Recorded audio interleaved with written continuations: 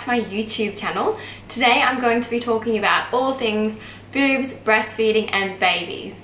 Now this topic has been one I've been wanting to cover for ages, so forgive my delay, but I wanted to make sure that I deliver it to you as openly, honestly and accurately as I possibly can because it's a topic that's really close to my heart and means so much to me. But recently in my social media it's come up again so I thought it's the perfect time to cover it. For those that don't know me, my name is Hannah and I have been a midwife for five years.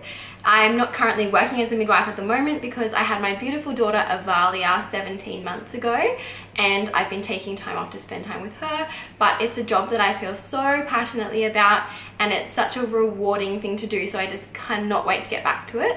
Um, but I'm not going to be covering my midwifery today. If you'd like me to do another video on that just leave it in the comments below and I can cover that.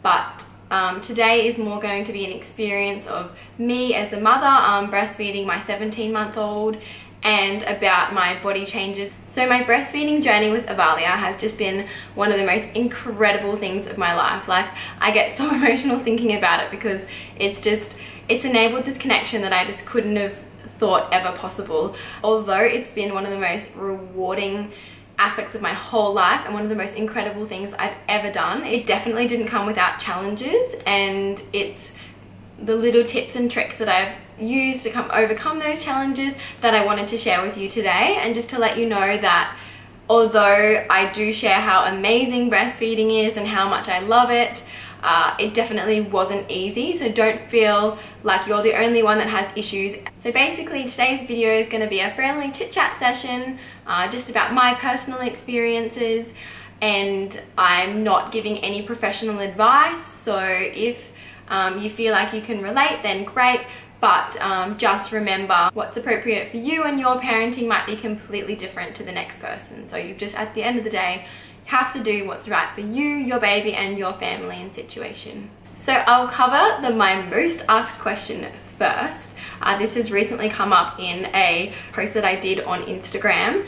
I mentioned um, in a transformation picture that I hadn't had surgery. What I was referring to is um, my bum because everybody thinks that I've had booty surgery or injection, something like that and it's simply not true. Also from the first picture to the second picture, a lot of people were saying, oh, you've had breast augmentation. Yes, I have had breast augmentation. I'm not trying to hide the fact that I have. I've never really covered it before because it's just, obviously it's a personal thing. I haven't really had the platform to discuss it before but now that I have YouTube and I can talk to you more freely I'm more than happy to let you know all about it why I did it and how it's affected me as a breastfeeding mother.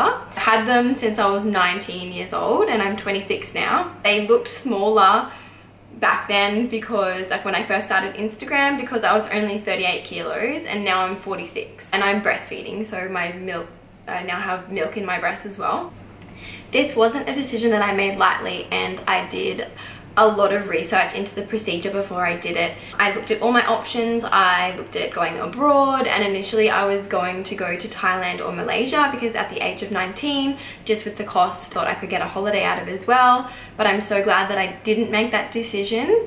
I ended up getting them done locally on the Gold Coast and when I woke up I was unwell so I ended up having to go back to the emergency department and having to get extra fluids and it was just so nice to have my family and friends there for support. All of that aside, the procedure went really well and I'm really happy with my decision. I've never looked back. I had my boobs on for a few reasons. I actually already had fairly big boobs already. Like I was a C on one side and a D on the other, but it made me insecure that I had one side bigger than the other.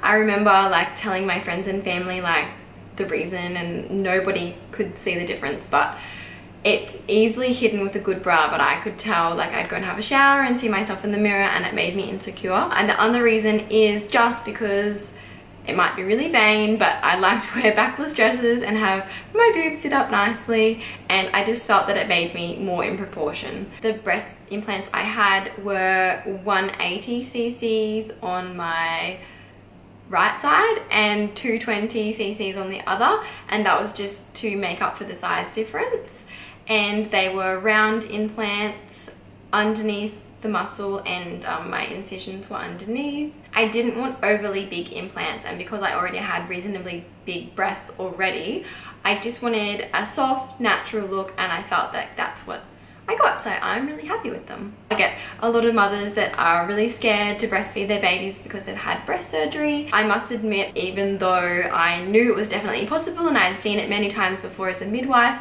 I was a little bit nervous. I think I was like 20 eight weeks pregnant and I actually started producing colostrum in the shower. So colostrum is the first milk that you get before your actual milk comes in and some women when they're still pregnant can leak some colostrum.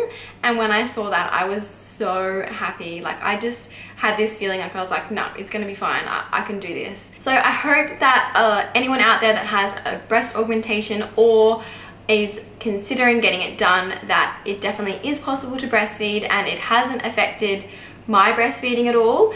Uh, the only thing I have noticed since having the surgery seven years ago is that I'm more sensitive on one side and have less feeling on the other side. I've got quite a lot of numbness around my breast and down the side of my body. The other thing I was fairly certain I was going to have an undersupply and I was thinking I wasn't going to have enough milk to feed Avalia but in fact it was the complete opposite. I had an oversupply and I was quite engorged so you just never know and as long as you do your research and do breastfeeding classes get a midwife get support and it's definitely possible.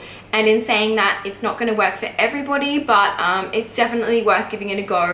And although that I don't actually regret getting them done because I've had them for seven years and loved having them if I was going to have a baby in the near future, I wouldn't advise getting them done just before you have a new baby, just because they definitely do change shape. I got a lot of messages saying, how do you keep your breasts exactly the same as they were pre-baby? And they're definitely not. Like you lose, um, like your skin stretches, they're not, they don't sit up as perky as they used to and they're a lot softer now. I don't mind it. Um, I think they makes them look even more natural. But if you are considering getting them done and you're thinking of having a baby shortly, I would think about putting it off till after you have your kids.